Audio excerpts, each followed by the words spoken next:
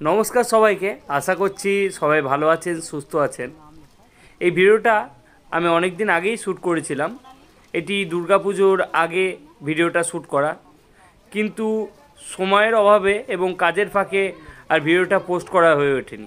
তো প্রথমেই বলে দিই, আমাদের গ্রামের পাশে একটা ছোট্ট পাড়া বসতি আছে, যেখানে কিছু সংখ্যক পরিবার বসবাস করে।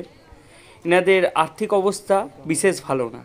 তো এই পরিবারগুলির মধ্যে একটি পরিবারের ঘটনা বলছি আপনাদের, যেটি রিসেন্টলি ঘটে গেছে, যাতে আপনাদের এনাদের পরিস্থিতি বুঝতে সুবিধা হয়। তো পরিবারে ছিল হাজব্যান্ড ওয়াইফ এবং তার তিন ছোট বাচ্চা। হাজব্যান্ড অসুস্থ থাকার কারণে তিনি কাজে যেতে পারেন না। তাই তার ওয়াইফই কাজ করে সংসার চালায়। তো একদিন তার ওয়াইফ যখন কাজ করতে যায়, তখন ওয়াইফ হঠাৎ করে স্ট্রোক হয়ে মারা যান।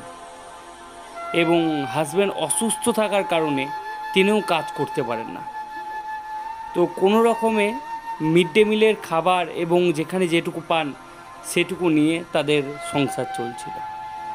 এবং বর্তমানেও এইভাবেই চলছে।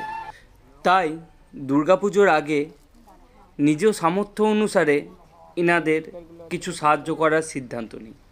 নিজ পাড়া ও পরিবারের সমর্থনে আমরা নতুন ও পুরনো কিছু কাপড় জামা জোগাড় করি এবং সেগুলোই এনাদের দেওয়ার ব্যবস্থা করি, যাতে এনারাও পুজোর আগে কিছু নতুন পড়তে পারেন।